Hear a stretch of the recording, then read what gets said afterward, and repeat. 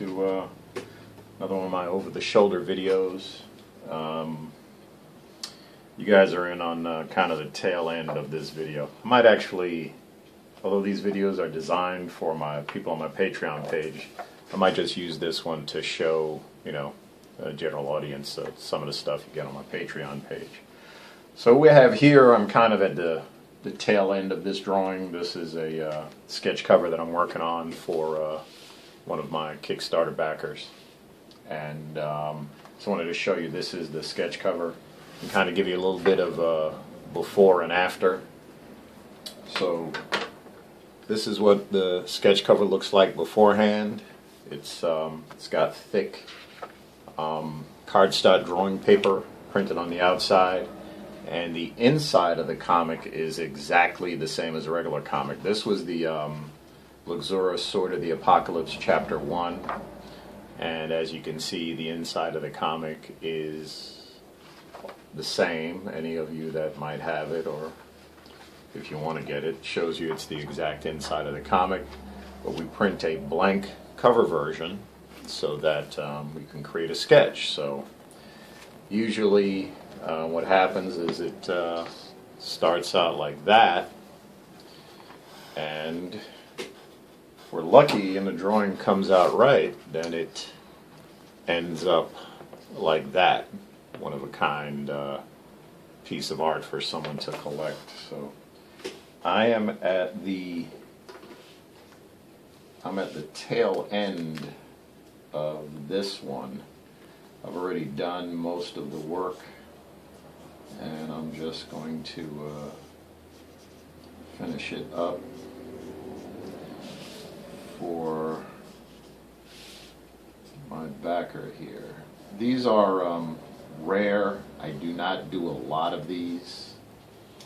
Um, and that's usually because of uh, you know time constraints. I'm pretty busy, um, so when I do do them, I try to make them um, very nice for uh, the collectors. I tell you, there's I don't think at the time of me making this video, I don't believe that I've done 10 of these yet, maybe 10. Um, not a whole lot. I know some people do them by the tons, but um, this is a real specialty item. And uh, particularly with me um, working on graphic novels and creating stories, um, I don't usually get a lot of time to do these.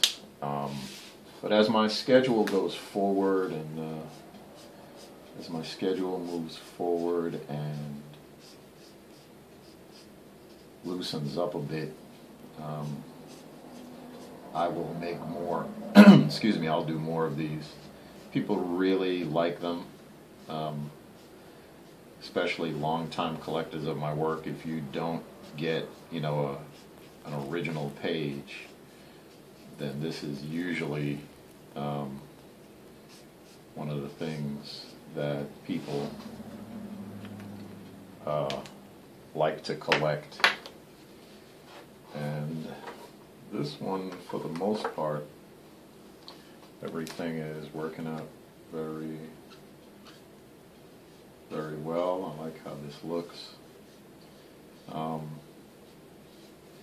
what I did for these um, sketch covers in particular is to make it even more kind of unique and special is I actually uh, picked an image from the inside of the comic and redid it for the sketch cover. So in the case of this one here, um, that's the cover, the sketch cover. And it's actually based, as you can see that, and it's actually based on that image right there. So I just recreated the image for the cover to make it uh, a little more special and unique. In the sketch covers that I've seen, I haven't seen anyone who does that. And um, I've always thought it would be cool to have, uh, you know, an artist that you like create a, uh, a sketch cover like that. So now I'm going to put some finishing touches on this. Um, this is really nice. What I'm going to do right now is I'm going to add a like a slightly darker line. Uh, that's not dark enough. I'm going to add a slightly, here's my number four, okay. I'm going to add a slightly darker line around the outside of the image.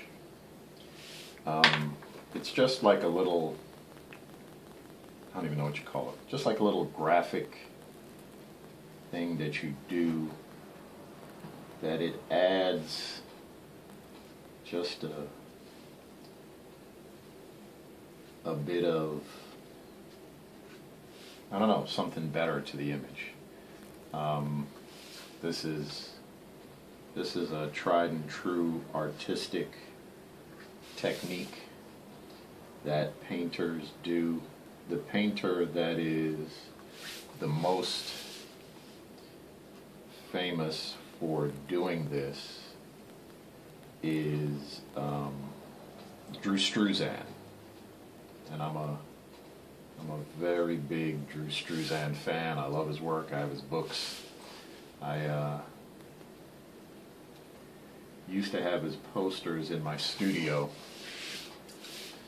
um, but uh, as time went on, I decided to put uh, my own art in posters in my studio.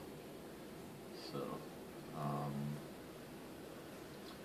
you know, uh, earlier in my career, I would put posters of artists that I really admire, like Drew Struzan or Bob Peak or J.C. Leyendecker. And it was very good inspirationally. And then um, as time went on and my own work began to get better and better, um, I started putting up images of my own uh, for inspiration. You know, to, because, you know,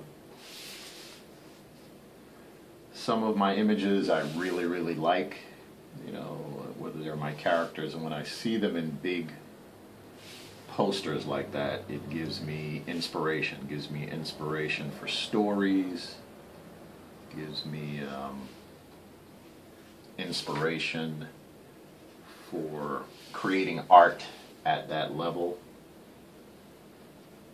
or in some cases trying to outdo it. Um, you know, trying to outdo a particular image that I've seen. So I like to look at my favorites. And um, right now, as of the making of this, in my studio, the only two characters I have on the walls right now are Luxura and Rescue Man, because um, I really like how the particular image that I have I like the way they came out. Um, uh, there's another one that I'm going to be putting up pretty soon. It's the uh, Monsters Gauntlet cover. Um, that was a wraparound cover that I did for a special edition of the uh, Monsters Gauntlet graphic novella. And I kind of like that one. It's got some pretty unique images on it. It's got stuff on there that I don't usually draw zombies and amphibians and Frankenstein monsters. Or should I say, don't usually draw up until this point, because probably going to be drawing quite a bit of them. Um, I was kind of thinking about doing that around this here, but I'm not too sure. I think I'm just going to leave that the way that is. Uh, I think that works just fine with the kind of lightning glow or whatever that is coming off of there. Trust me, sometimes as artists when we do stuff, we don't know what it is, but it just looks cool, so we do it. You know, this is some sort of radiating energy or electricity, you know. Basically what it is, it's a design element to make the overall image um, look nice. Okay, so now I'm going to use some of my uh, Prismacolor white pencils to add in just a little more texture to the hair.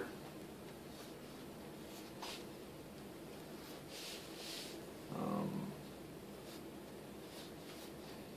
and when you put these in, it kind of uh, behaves like strands of hair a little bit. It's, um,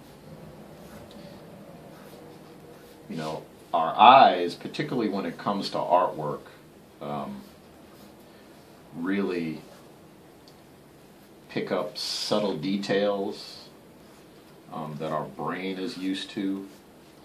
And those subtle details, when you begin to add them into your artwork, it um, helps your images to look better.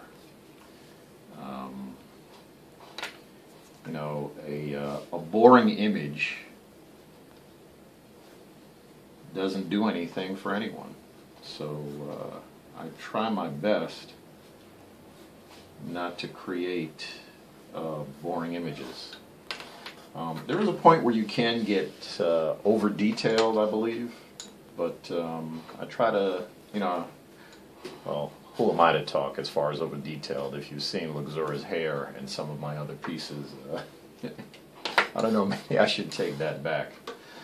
Uh, but um, uh, detail when it's necessary really does a good job as far as Luxura's hair is concerned. Um, the detail in it is part of what captures attention. it's part of what makes her unique. Now this is a gel pen. All right, this is a gel pen. It's a white gel pen. And I use this to create little white dot highlights that helps to make something look like it's wet. So I'll do it right here in the eyes. And I don't know if you can really see that, but it creates that little white pop highlight in her eye. And I'll uh, put a couple on her lips as well, just to give it that feeling of her lips actually being wet. And I don't know, what is this? I just picked this up at the art supply store. It's a white pigment ink gel pen. It's made by uh, Uniball. Anybody out there who wants to uh, give it a shot and try it. And um, I use this really sparingly. Um, I've, uh, when I first started using these, I kind of didn't use them correctly. But um, like anything else, uh, you give me enough time with it and I'll uh, figure out the technique. I'll get the technique correct and I'll uh, make it work. I found what the great thing about these is what I'm going to do right now is I'm going to use this white to kind of separate the left side of her face here. It'll, it'll make the image pop. If you can see that beforehand, now I'm going to do it um, afterwards and I'll show it to you.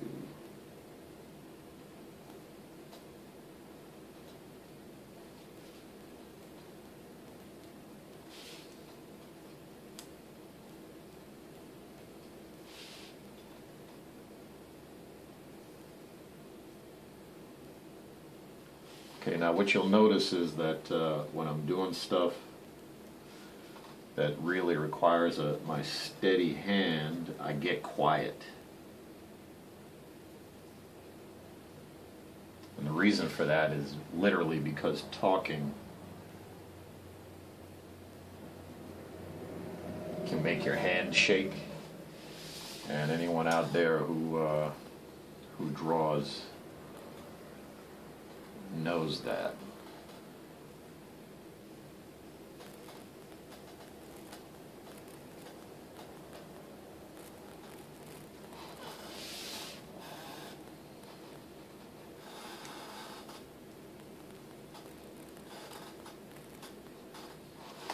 Okay, so now I've dropped that white line around the outside of her face and it just makes it pop really um, creates that separation to bring the face out. Um, and this is, you know, these are kind of like instinctive things that you that you learn as an artist. Um, usually, what happens to me is uh, I'll maybe I'll see it, and one of my favorite artists used it in some way, and the way that they used a particular graphic element just really worked. And so I'll be like, okay, I'll try that usually on uh, my first one or two drawings it might not come out right but uh, um, that's one thing you know I don't uh, worry about making a bad piece of art because for every bad piece of art that I make I learn something so um, I'm not afraid to screw something up I do it all the time anyone who who's on my Patreon page or who joins my Patreon page as you begin to see some of my updates, what you're going to see is how sometimes I'll go through several drawings before getting something right. And um, I mean, sometimes it can slow me down, but um, listen, I'm here to try to make the nicest art that I possibly can. And um, if you make the nicest art that you possibly can, I don't worry about the time it takes. I don't worry about um, the effort it might take because once the art itself is done and it's done nicely and I kind of can walk away from it and in the back of my head there's a good memory of that image, then I, I know that I've, I've done something good and I'm enjoying what I, I've enjoyed what I've done. So that's this one. Next time I'll uh, get into one that's a little earlier. I have one that I'm about that I'm going to work on right after this. That all I have is the line work done, so you'll get to see more of uh, of you know how I go through my process of uh, creating that. All right, well, thanks for watching. If you're on my Patreon page, enjoy it. If you're not, come on in. You got there's a lot of cool art to see. All right, take care. Yeah.